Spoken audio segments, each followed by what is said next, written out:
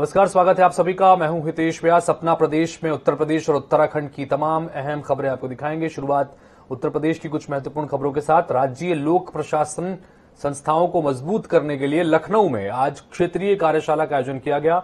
इस मौके पर मुख्यमंत्री योगी आदित्यनाथ और केंद्रीय मंत्री जितेंद्र सिंह शामिल हुए। मुख्यमंत्री योगी आदित्यनाथ ने बताया कि उत्तर प्रदेश में कई सालों से भर्ती प्रक्रिया रुकी पड़ी थी, लेकिन यूपी सरकार ने सारी भर्तियाँ कराई हैं। सीएम ने कहा कि उत्तर प्रदेश में कुंभ का आयोजन हुआ था, जिसमें पुलिस की छवि में सुधार हुआ है।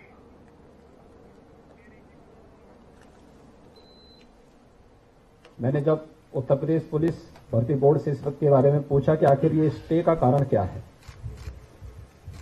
उन्होंने कहा, कोर्ट ने ये आपत्ति लगाई है। तो मैंने कहा, इसका निस्तारण क्यों नहीं हुआ? जिन मुद्दों पर न्यायालय ने आपत्ति की थी, उन सभी मुद्दों को हमने निस्तारित करके न्यायालय में फिर से शपथ पत्र दिया कि ये मुद्दे निस्तारित हो चुके हैं। न्यायालय अब इसमें जो स्थगन आदेश है, इसको वैकेट करें और हमें अनुमति दें। न्यायालय ने देखा, परमिशन दी और हम लोगों ने पूरी पारदर्शी तरीके से उस ट्रेन की प्रक्रिया को आगे बढ़ाया। हमारे पास ट्रेनिंग सेंटर नहीं थे। हमने अपनी ट्रेनिंग क्षमता को बढ़ाया।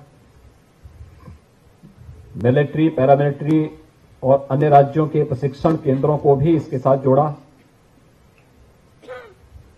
और हम लोग चार वर्ष के अंदर पुलिस भर्ती की इस पूरी प्रक्रिया को, जो लगभग 12-15 वर्षों से लंबित पड़ा हुआ था, इस पूरी प्रक्रिया को हम लोगों ने संपन्न किया।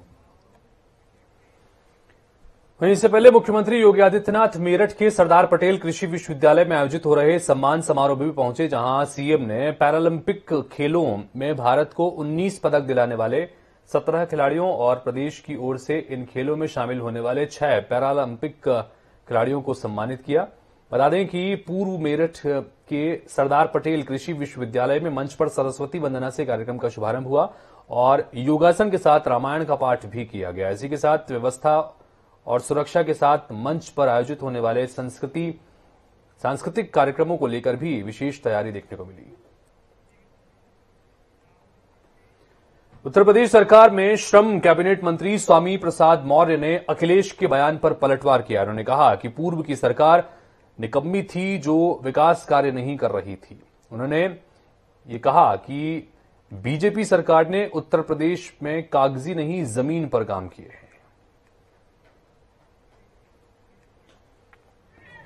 वो इतने लायक होते तो सारे काम को अपनी सरकार के रहते पूरा कर लेते। अगर पूरा नहीं कर पाए तो निकम्मापन पूर्ववर्ती सरकार का है। हमारा। और उन्हें तो मुझे बधाई देनी चाहिए हमारी सरकार को बधाई देनी चाहिए कि जो काम वो नहीं कर पाए वो काम योगी सरकार कर रही है। जो काम अधूरा छोड़ के ले गए थे उसे पूरा योगी सरकार कर रही है। और नया काम भी तमाम कर रही है। ये पूर्वांचल एक्सप्रेस वे उनकी केवल कागज़ की योजना थी। ज़मीन पर एक इंच भी कहीं सड़क नहीं बनी थी। एक कौड़ा मिट्टी नहीं रखा गया था। आज वो पूर्वांचल एक्सप्रेस बनकर तैयार हो गया। समाजवादी पार्टी के राष्ट्रीय अध्यक्ष अखिलेश यादव ने मुजफ्फरनगर की जनसभा में मुख्यमंत्री योगी आदित्यनाथ पर सीधा हमला बोला। कैराना के पलायन के मुद्दे पर सीएम योगी को घेरते हुए कहा कि अगर बाबा मुख्यमंत्री ने उत्तराखंड से पलायन न किया होता तो आज यूपी के पाँच साल बर्बाद न हुए होते।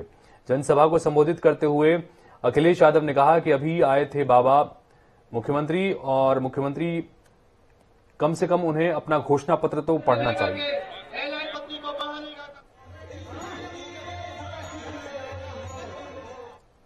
जो सरकार है उसको बदलने के लिए जनता ने अपना फैसला ले लिया है।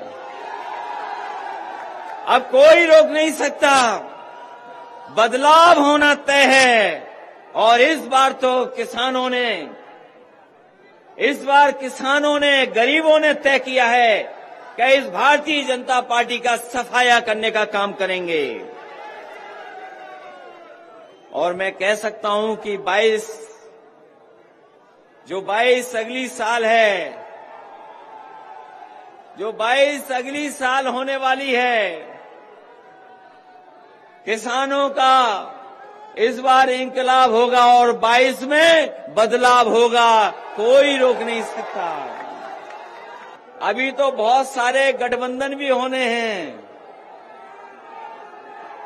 समाजवादी पार्टी का गठबंधन होने जा रहा है।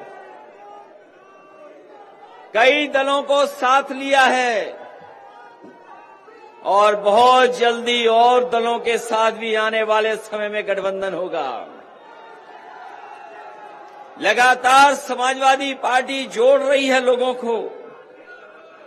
जहाँ हमारे किसान लड़ रहे हैं, लगातार संघर्ष कर रहे हैं, समाजवादी पार्टी का पूरा समर्थन किसानों को है।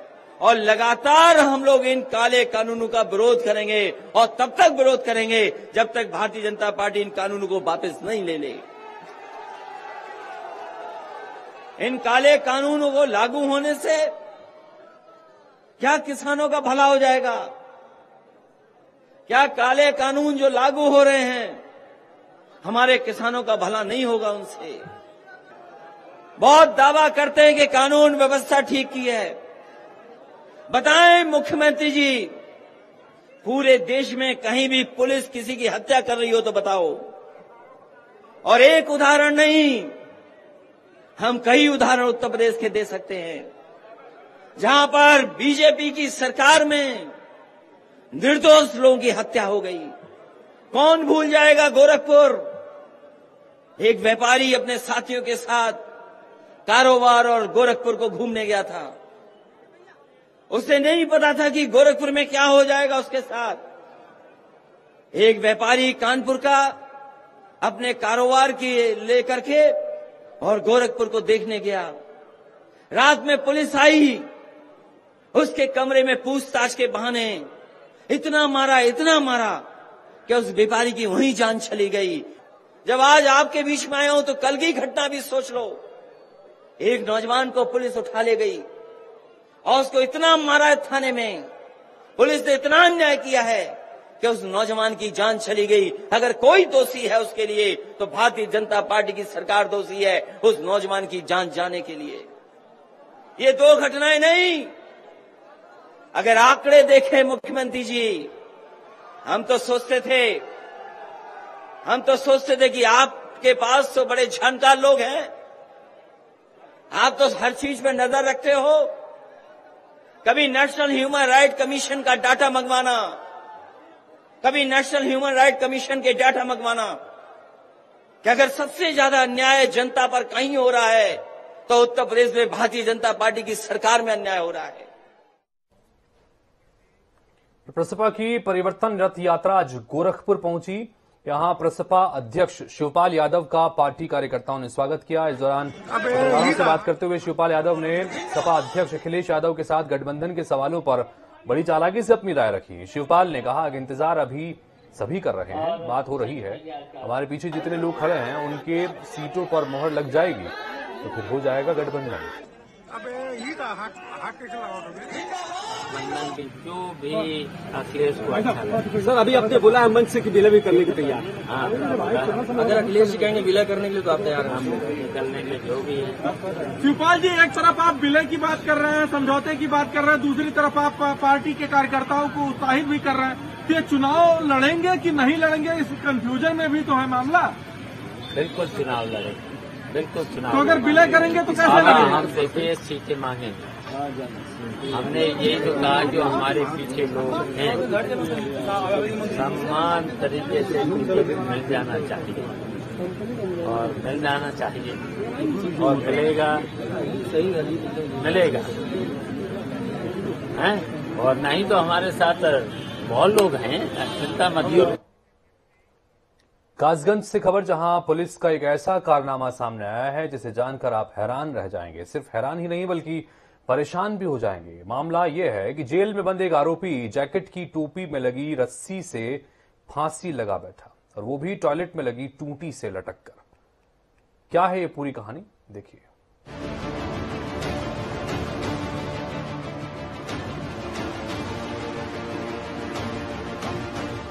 गोरखपुर कांड अभी भूले तो नहीं है। वही कांड जिसमें व्यापारी को मारने का दाग खाकी के ऊपर आया। अगर भूल गए हैं तो कासगंज आइए और एक बार फिर देखिए उत्तर प्रदेश पुलिस का अजब गजब कारनामा। जी हाँ कारनामा। ऐसा कारनामा जिसका सिर पैर समझना बहुत दूर की कौड़ी है। असल में उत्तर प्रदेश के कासगंज जनपद में एक नाबालिग लड़की को भगाने के आरोप में पूछताछ के लिए लाए गए 22 साल के अल्ताफ की कासगंज कोतवाली के हवालात में मौत हो गई। अब कहानी में ट्विस्ट और पुलिस की थ्योरी दोनों समझिए। अल्ताफ ने टॉयलेट जाने के बाद हवालात के टॉयलेट में ही जैकेट के हुड के नाड़े से फांसी लगा ली। जी हाँ सही सुना आपने। जैकेट हुड के नाड़े से ही फांसी लगाई गई है। और नल से ज़मीन की दूरी मात्र ढाई फीट अब मरने वाले की कदकाठी को भी समझ लीजिए। मरने वाला युवक, जिसकी लंबाई पाँच फीट छह इंच के करीब रही। अब आप सोचेंगे कि आखिरकार ये माजरा क्या है? तो हमारी सलाह मानिए तो दिमाग ना ही लगाइए, क्योंकि ये उत्तर प्रदेश की अति होनहार पुलिस है। ये इंसान को बिस्तर से गिरकर भी मरा हुआ बता सकती है। ढाई फीट के नल की तो बात ही क्या है? और ये साइंटिफिक थ्योरी पेश करने वाला कोई आम वर्दीधारी नहीं है, बल्कि आईपीएस अफसर रोहन बोत्रे हैं, जिन्होंने इसे बकायदे एक्सप्लेन भी किया है। साहब 2016 बैच के अफसर हैं और कासगंज में पुलिस कप्तान बनने से पहले आगरा में एसपी सिटी के पद पर तैनात थे। मामले को गंभीरता से लेने की तेज़ी इतनी कि कोतवाली इंस्पेक्टर, कासगंज सहित दो सब इंस्पेक्टरों और एक हेड कांस्टेबल, एक सिपाही को तत्काल प्रभाव से निलंबित कर दिया गया। लेकिन परिजनों का आरोप अलग कहानी बयां करता है। हत्या करी गई है उसकी। वो खुदकुशी नहीं करता। अल्लाह। किस आरोप में ले गए थे उठा के वो लड़की के मैटर में।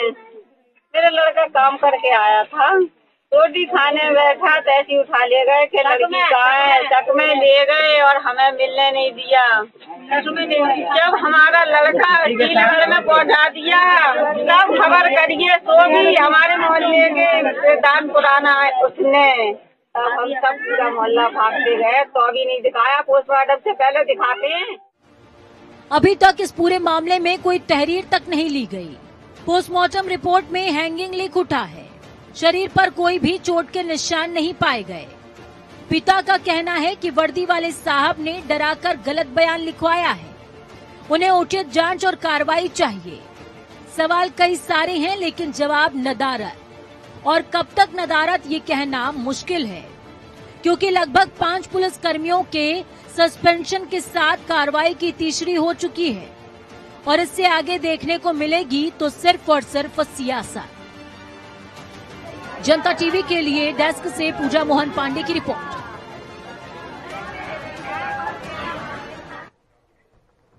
प्रकाशगंज के हवालात में हुई अल्ताफ की इस मौत के बाद से राजनीतिक हलचल भी बढ़ रही है। अल्ताफ के घर आज सुबह से ही राजनीतिक दल के डेलीगेशन पहुँचने शुरू हो गए। आज सुबह जहाँ सबसे पहले समाजवादी पार्टी का डेलीगेशन परिवार से मिला तो वहीं दोपहर में कांग्रेस पार्टी के हरियाणा प्रदेश कांग्रेस प्रभारी विवेक बंसल सहित पाँच लोगों की टीम अल्ताफ के परिवार से मिलने के लिए पहुँची। इस बीच अपनी किताब को लेकर विवादों में फंसे पूर्व केंद्रीय मंत्री और कांग्रेस के वरिष्ठ नेता सलमान खुर्शीद भी अल्ताफ के परिजनों से मिलने पहुँचे। उन्होंने अल्ताफ के परिजनों को सांत्वना दी। इस दौरान सलमान खुर्शीद ने बताया कि अल्ताफ के साथ बहुत घटना बहुत ही दुखद है। और वो उनके परिवार के साथ खड़े हैं और कांग्रेस पार्टी परिवार को न्याय दिलाने के लिए सुप्रीम कोर्ट तक भी जाएगी।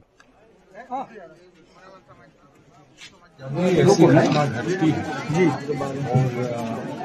ऐसा ऐसा कुछ होता है तो सबसे पहले कॉग्निजेबल ये है। यस सबसे पहले एफ़ आई आर रजिस्टर होनी चाहिए सुप्रीम कोर्ट के आदेश है। सबसे पहले एफ़ आई आर रजिस्टर होती है तभी उसके बाद हो सकती है अगर एफ़ आई आर ही नहीं रजिस्टर होगी तो फिर कार्रवाई शुरू कैसे होगी? इसलिए हम ये समझते हैं, मानते हैं कि एफआईआर सबसे पहले रजिस्टर होनी चाहिए। उसके बाद आगे कार्रवाई कैसे होगी, कितनी होगी, किसको करनी है, उसके बाद वो आगे अवश्य देखा जाएगा। आज ये समय जो है, इन सारी तफसील की बातों का नहीं है।